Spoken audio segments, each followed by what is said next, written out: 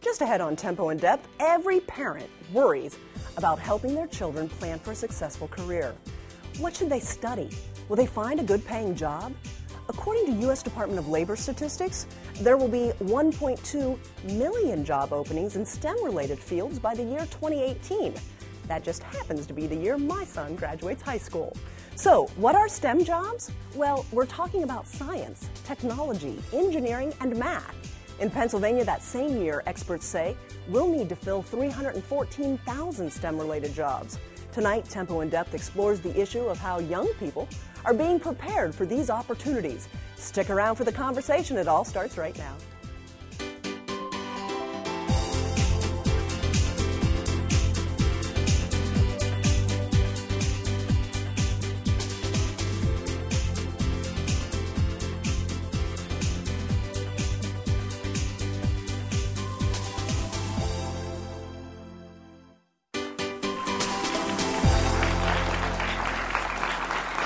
Good evening. Thanks so much for joining us. I'm Amy Burkett. I am very excited to have a full studio audience joining us tonight. We have a great group of students from Donegan Elementary School. Their principal, Sonia Vasquez, brought them here. There's 75 of them and a lot of good friends as well, and we're delighted to have them all here today. Well, a 2011 Time magazine report ranks the top 10 best paying college majors are all STEM fields, and nine of the 10 are types of engineering.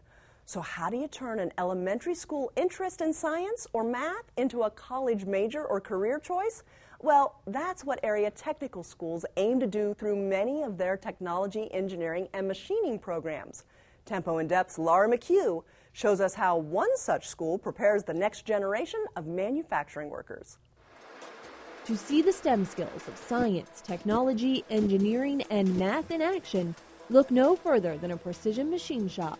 You're going to determine where the origin of the part is. Additionally, there's spindle speeds. There's directions of the spindle. As we go through here, we could also run a simulation.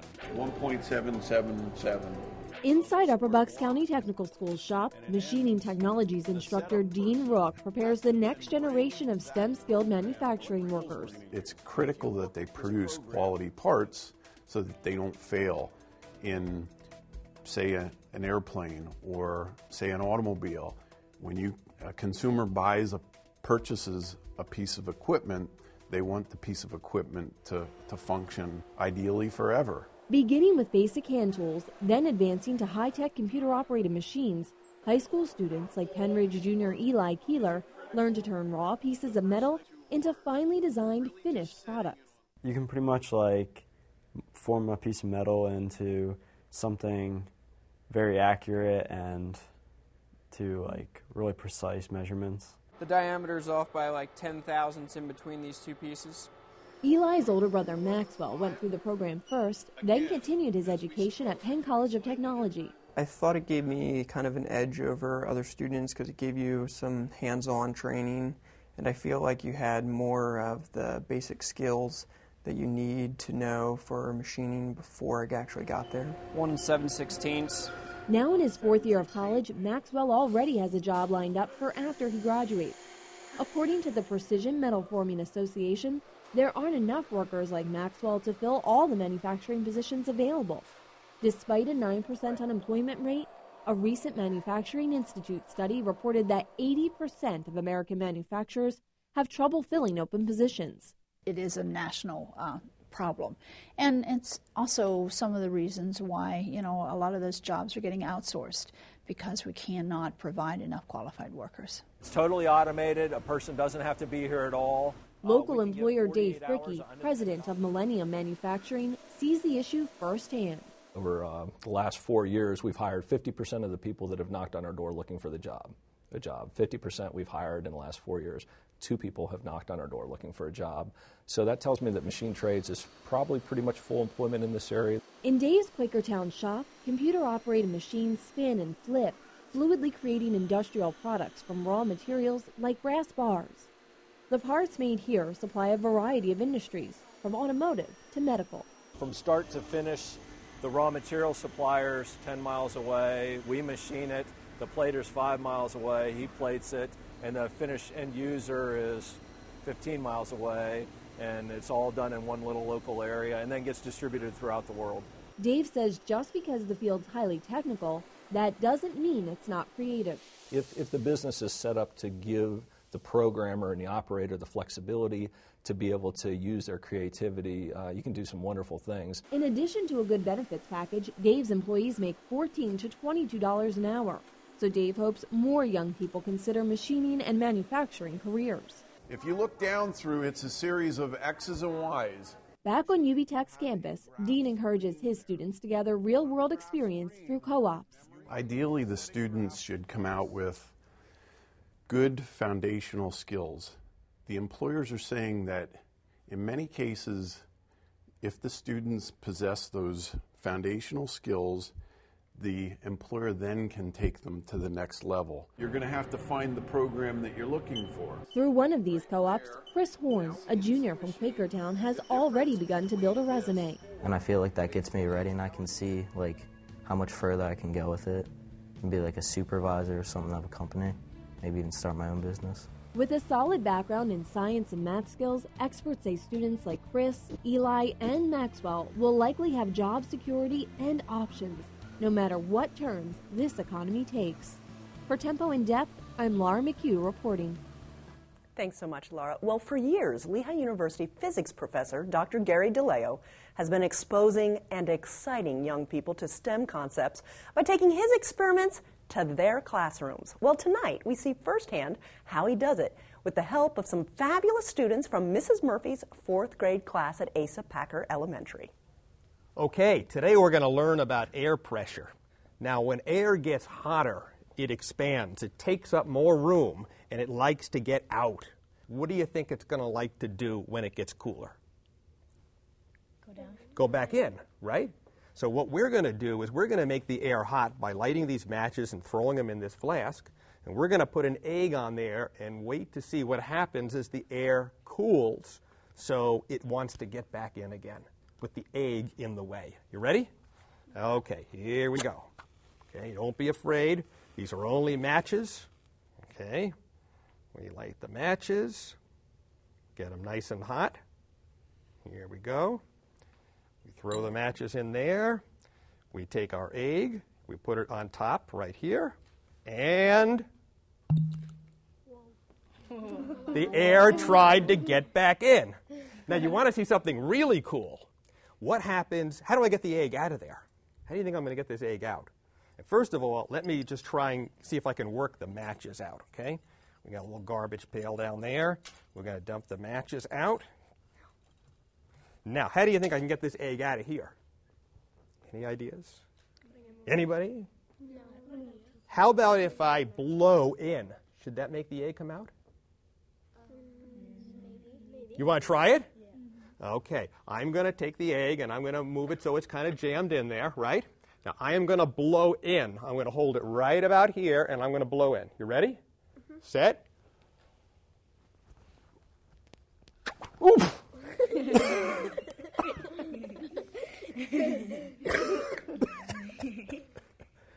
what happened? It came out. It came out because when I blew in, the air went around behind the egg, and there was more air pressure behind it, and that pushed it out. And I almost swallowed it. okay, now I got to show you something really cool. You want to see something really cool? Yeah. Suppose we use a bottle with a smaller opening.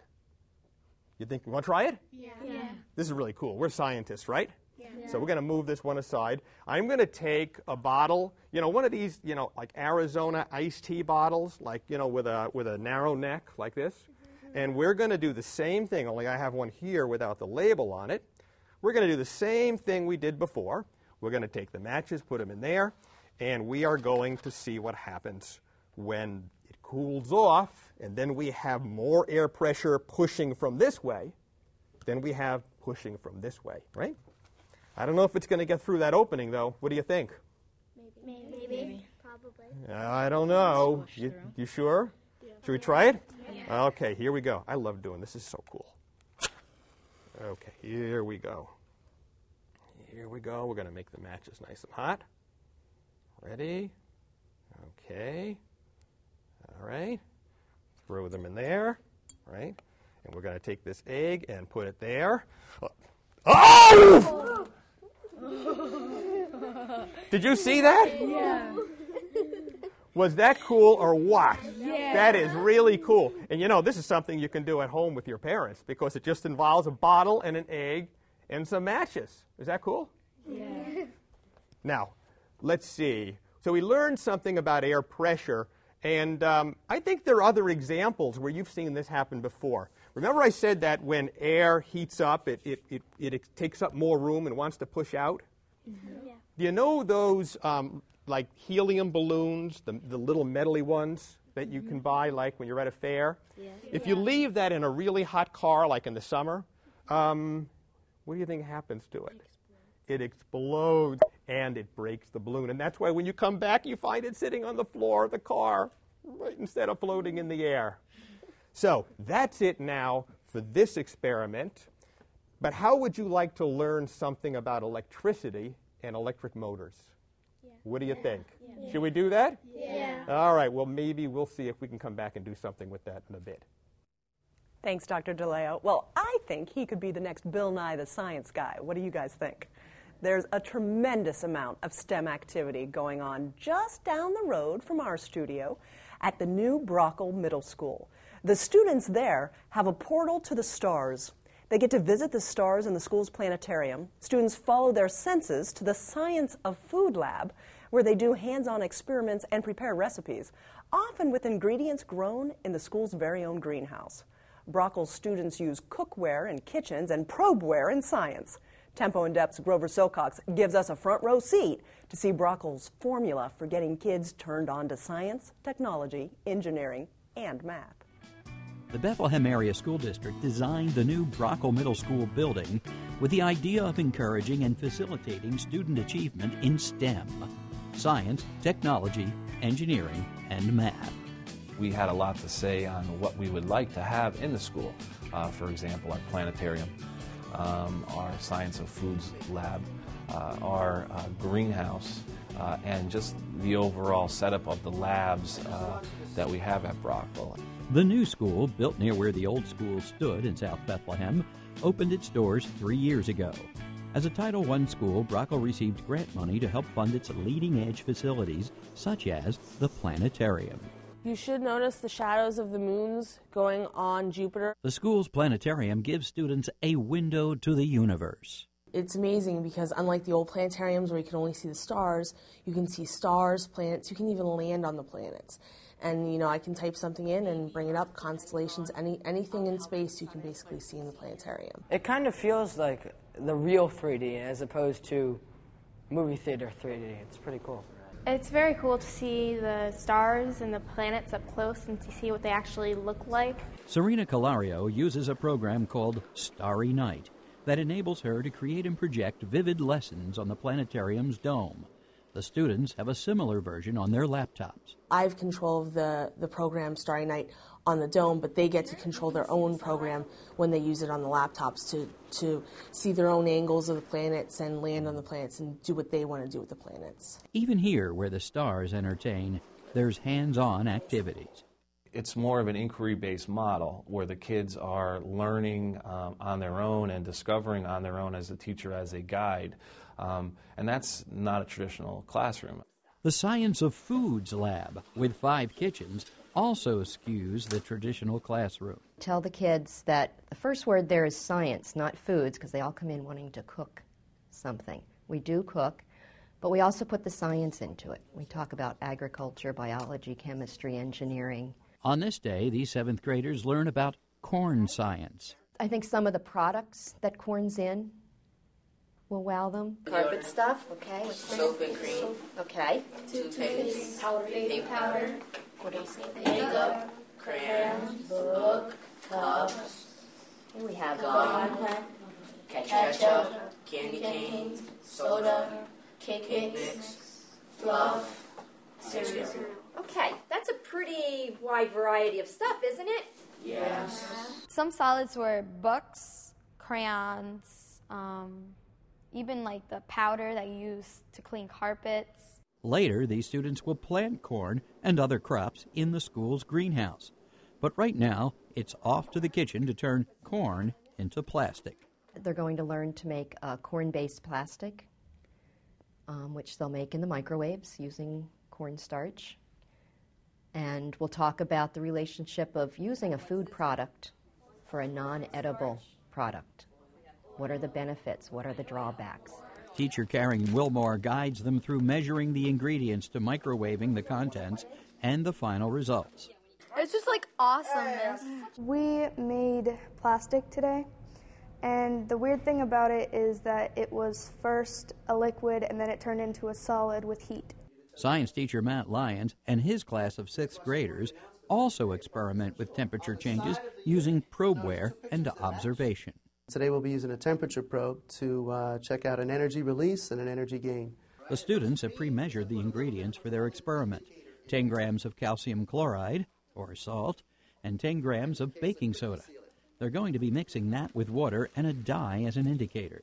A lot of the textbooks are pretty complicated, and sometimes you can bring it more to their level by doing simple hands on things um, that also get the wow. Matt encourages the class to observe any changes.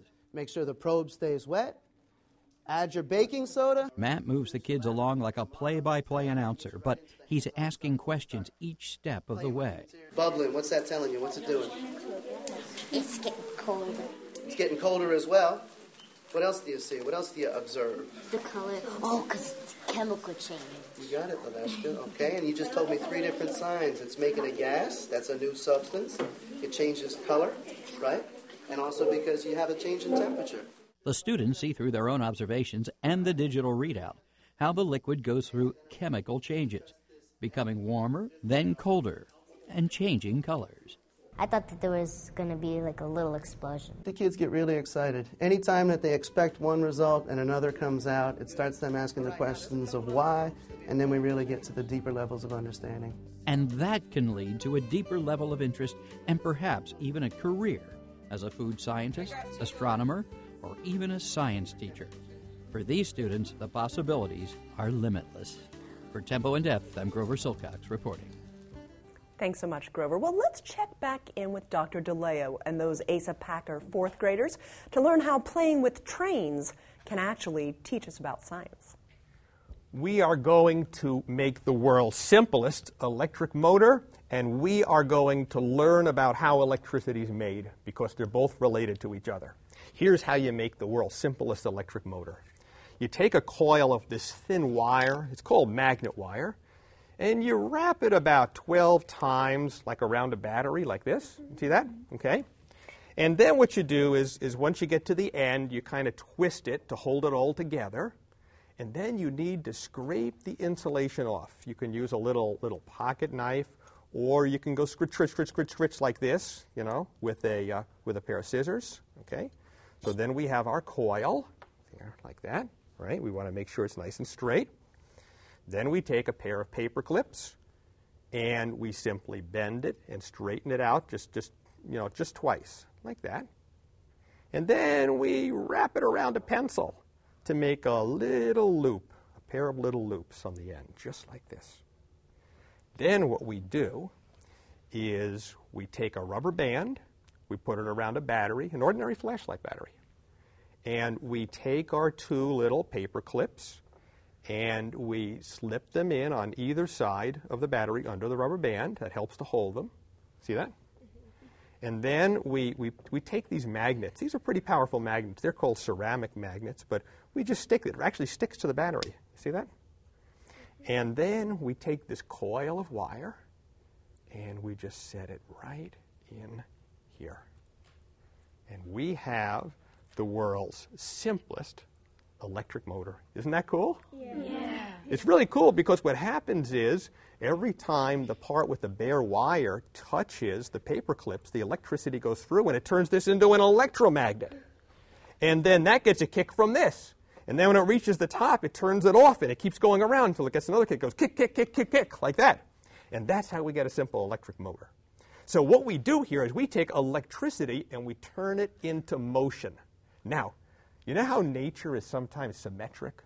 Like the same on one side as it is on the other? Yeah, yeah. If we can take electricity and turn it into motion, do you think maybe we can take motion and turn it into electricity? Yeah. Mm-hmm. let's see if nature's symmetric in that way.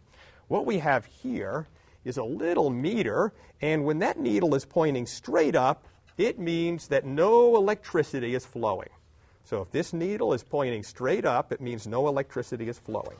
So what I'd like you to do is to take that coil of wire, okay, and we'll hold this here so that the camera can see the needle. And we're going to take these magnets, and I want you to take these magnets and I want you to move them in and out of the coil quickly. And what's happening to the needle? It's going up and down. It's going back and forth. Every time you move that magnet through the coil, it makes electricity. How do you like that? You're turning motion into electricity. Isn't that cool? Yeah. Cool. And let's see. Oh! Look at this. Look at this. Look. Do you see this? Do you see the coil of wire in this flashlight? Mm-hmm. Do you see the magnet that goes through the coil of wire as they go back and forth? Mm-hmm. That's how it charges the battery. When you shake it, the magnet goes through the coil of wire just like you were doing here, and then we have our light. Pretty cool, huh?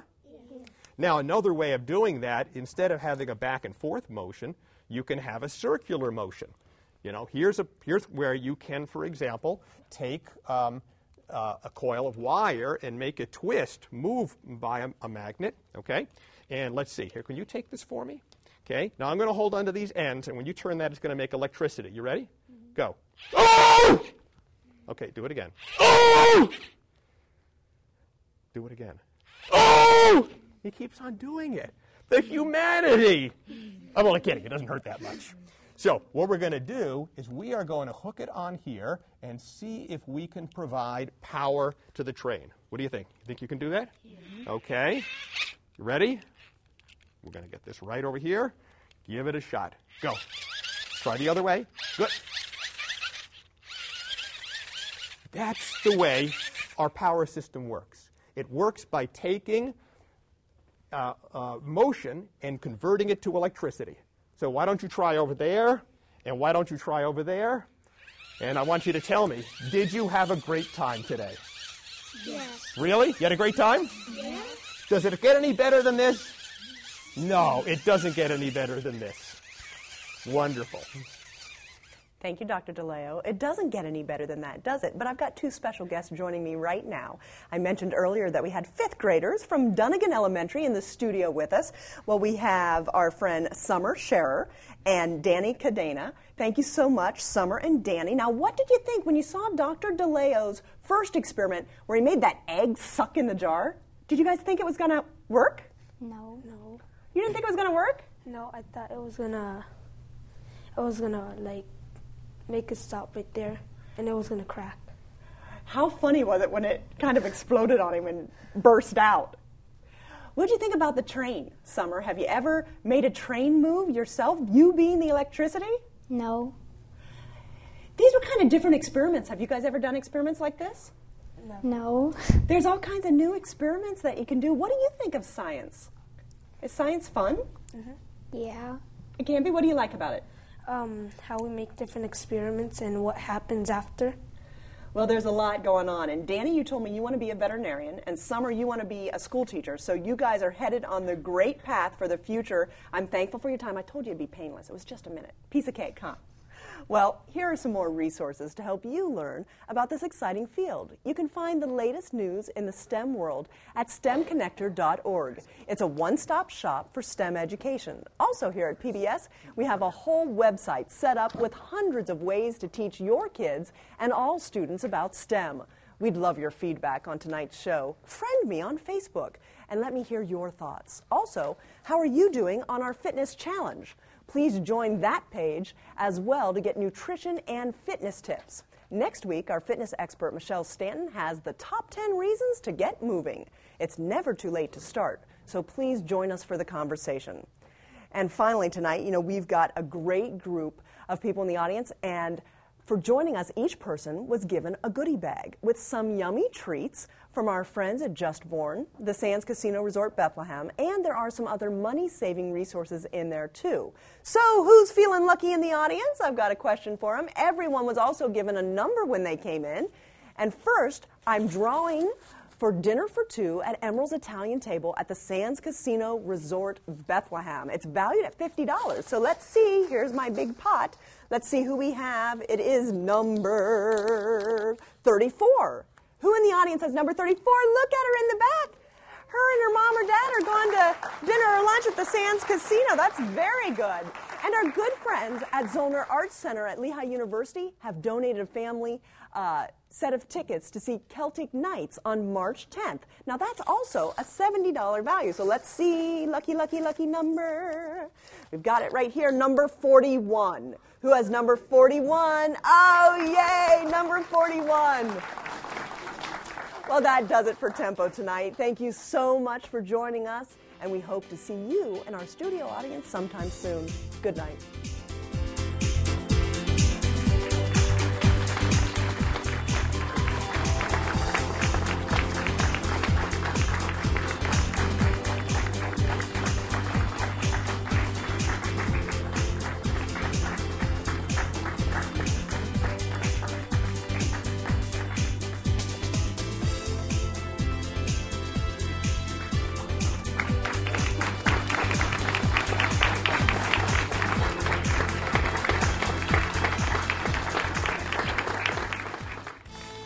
Like to be part of a studio audience for a live taping of Tempo in Depth?